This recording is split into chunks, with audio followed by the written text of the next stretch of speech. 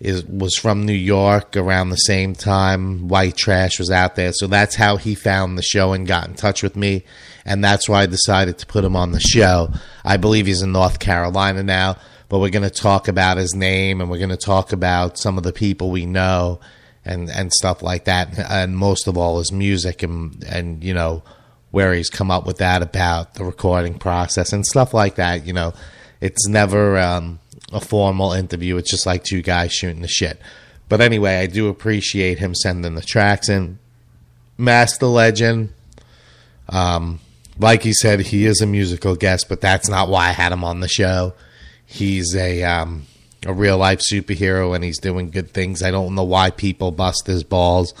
I guess there's always the fucking haters, and he seems to progress through all of that just like a musician has to get dig through all the bullshit and you know struggle.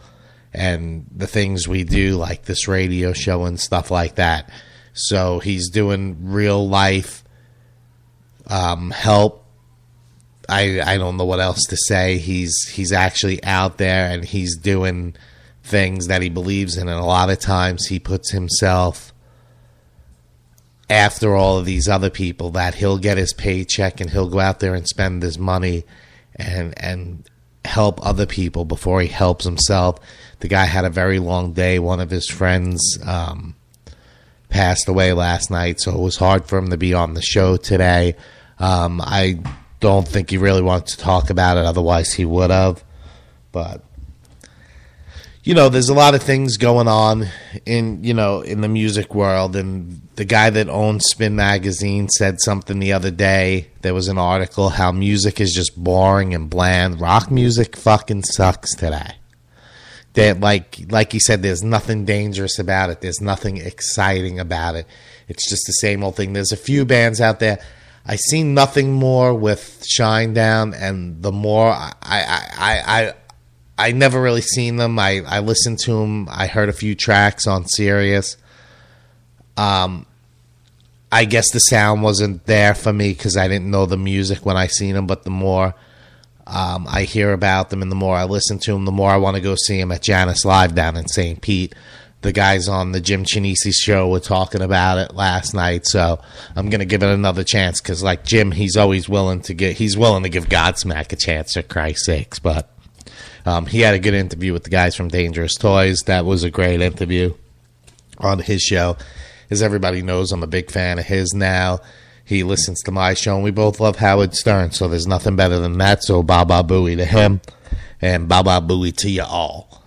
But, you know, there there is no danger in music. There's nothing out there right now that's pissing people off.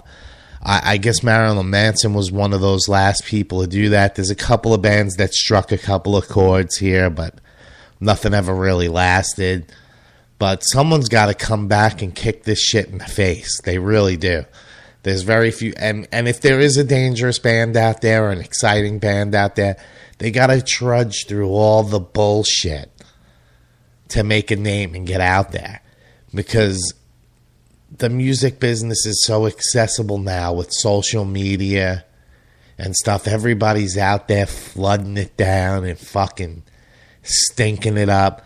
Just like all these podcasts. When I was doing this seven years ago, they probably started doing this eight years ago, whatever. And I was on terrestrial before that and uh, satellite. There wasn't all these people doing it. It just keeps getting worse and worse. The more people that are out there all these years of listening, there's only one show that I listen to on the internet. I used to listen to the AM stations broadcasting because I like talk radio. That's what I like. But Jim's show is the only one that I listen to, and besides Stone Chrome Radio, everything else out there fucking it sucks. It's terrible. These people aren't broadcasters. I, you know, I'm not gonna boast my own career, but I've got broadcasting experience before I ever did this. I've helped these internet stations go from zero and build them all the way up, and then they say, "Oh, we don't need you anymore." That's fine because my show don't need you. But another thing that aggravates the fuck out of me. Clear Channel might have changed its name to iHeartMedia, but it's still the same piece of shit, and that's probably why I didn't get selected to do the show. on there. It's like, really? Did you even listen to the show? Maybe you heard me bad mouthing you here and there, which is I do. That's my opinion, and I'm I ha- I'm entitled to it. But to deny me to be broadcast on iHeartRadio because I don't play more than thirty seconds of music, what sense does that make? Did you listen to the show? Do you not want a talk show? Then just say we don't want a talk show. But that's bullshit. That's all it said. So, am I not allowed to play more than 30 minute 30 seconds of music or do you want me to play more than? Because then you need to reevaluate the show. I don't give a fuck. You're the one losing out because I had over 7,000 plays in 3 weeks between all the different avenues. I'm about to cough and I don't have a cough button. It's you know, it's not like I have someone sitting here with me to talk while I choke to fucking death. But I don't know. I'm just disgusted with a lot of things as far as music and broadcasting and and all the shit you got to cut through. Yeah, there's these people doing all these interviews, but who the fuck are they? At least you got to have someone someone can relate to, to talk to. Yeah, some people don't. You might not know, and that's the purpose of me having you on. But I don't have the biggest names on there. I could get um, bigger names, but what am I going to do for them? They're not going to promote my show. They don't give two shits. They're on it to, to feed their egos because music, musicians are narcissists. I'm a musician. Everything's always about me and my music when I was in the music business, and that's how it should be. There should be nothing else. You should go to work and and and focus on your band and not beg people for money to put your albums out. That's what I believe. Uh, I come from a hard, hard working generation. Now it's any jackass with a fucking computer and and Adobe Audition or whatever the fuck it's called now and Pro Tools and all of that shit. I, I, I can make my own music. I can yes, I can do beats too. But that's not that's not music to a degree. It is, but it isn't. It's it's it's just when you when you're an actual musician and you play instruments it's a different world. I'll, I, you, if you know me, I always have an industrial element to it. So there's always stuff that isn't legitimately me creating it. But it took my mind to place that sound bit there and made it perfect and picked the right one. I was always more of a producer that wanted to be a musician because I can write songs like a motherfucker and I can tell you what to do where and where it belongs and when you need double time and your breaks and all that. But I always wanted to perform as well. So I, I chose that path to struggle most of my life. But I, I digress a lot. We're already 83 minutes into the show.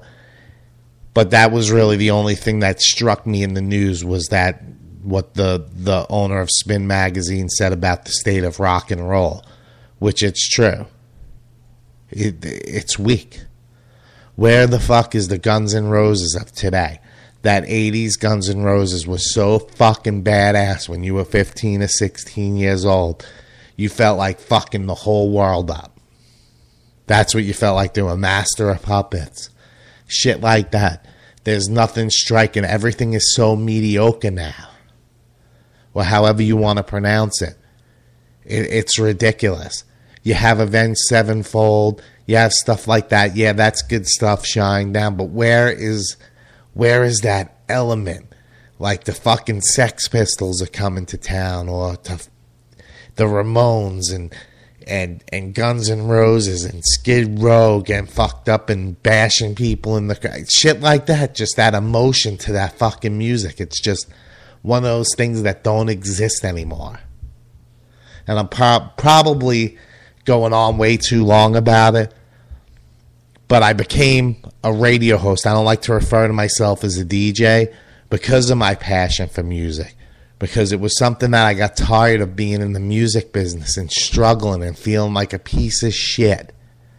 And fucking touring and and putting my fucking heart and soul out there and for people to treat you like a piece of shit or either love you or they're fucking fake and they only like you because you're in a band. That that's been my whole life story. When I was in high school, once people found out I was in a band, all of a sudden I was Mr. Popular and I was like, "You know what? Fuck you. Yeah, I'm the guy in high school who scored a 1.2 million dollar record deal because I have a fucking ounce of fucking talent.